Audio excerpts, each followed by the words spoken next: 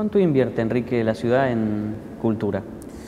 Mira, esa es una cifra compleja en términos del presupuesto, compleja por cómo se compone.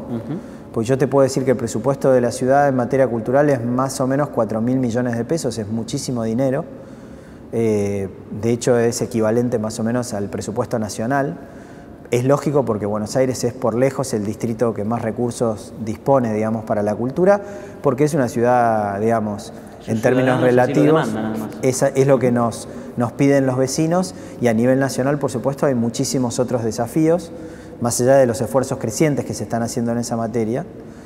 Pero el dato más relevante no es solo el presupuesto de cultura, porque en realidad hoy las políticas culturales se pueden ver en distintas áreas dentro del gobierno. Y está bien que así sea porque la cultura es un factor transversal. Pensemos, por ejemplo, el espacio público. Cuando uno piensa el espacio público, los esfuerzos que estamos haciendo para arreglar las plazas, para que el espacio público sea un lugar de encuentro, es también una decisión cultural.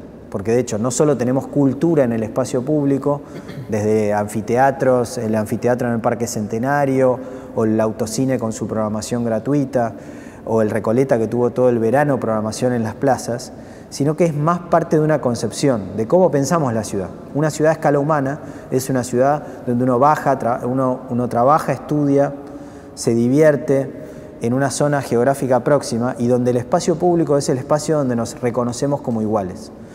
Entonces todas las actividades que hacemos en otros ámbitos son parte también de este presupuesto. Nosotros calculamos que sumando todo lo que invierte la ciudad en cultura y más allá del propio Ministerio de Cultura, estamos cerca del 3% del presupuesto. Es mucho. Apuntamos, por supuesto, a ir superando esta inversión, pero es mucho.